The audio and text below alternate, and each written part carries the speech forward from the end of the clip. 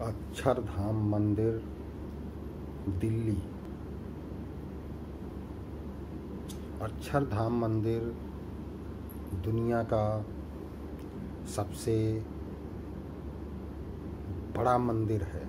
इसे Guinness book of world record में दर्ज किया गया है।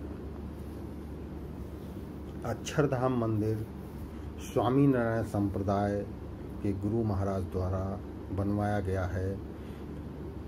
स्वामीनारायण जी का मंदिर लंदन में भी उपस्थित है। लगभग 715 से ज़्यादा मंदिर पूरे देश दुनिया में उपलब्ध हैं। और आज की तारीख में सबसे पहला मंदिर अहमदाबाद में स्वामीनारायण संप्रदाय का बना था जो है देश के हर बड़े शहरों में स्वामीनारायण संप्रदाय का मंदिर है, जिसमें स्वामीनारायण भगवान की मूर्ति होती है और जो अक्षरधाम मंदिर होते हैं, उसमें स्वामीनारायण भगवान की मूर्ति के साथ लक्ष्मी, पार्वती, हनुमान जी और सभी अन्य देवताओं की भी मूर्तियाँ लगाई जाती हैं। सबसे ज़्यादा हिंदू मंदिर बनाने का रिकॉर्ड भी जो है, स्वामीनारायण संप्रदाय के पास है। अब,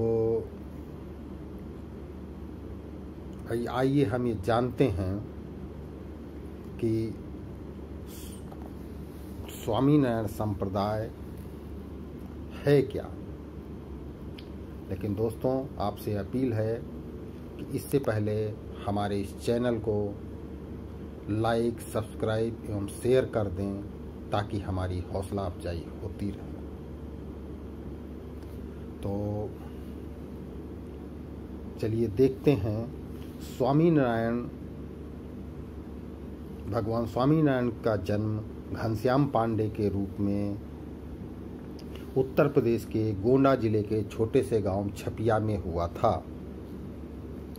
छपिया गाँव आज भी गाँव ही है, बट वहाँ एक रेलवे स्टेशन है, जिस रेलवे स्टेशन का नाम स्वामी नारायण छपिया रखा गया है, जिसके आधार पर लोग भी अब उस गाँव को स्वामी नारायण छपिया कहने लगे वहाँ भी बहुत भव्य, विशाल मंदिर बना हुआ है, और इन सभी अक्षरधाम और स्वामी नारायण संप्रदाय के मंदिरों की श्रृंखला का हेडक्वार्टर मुख्यालय माना जाता है।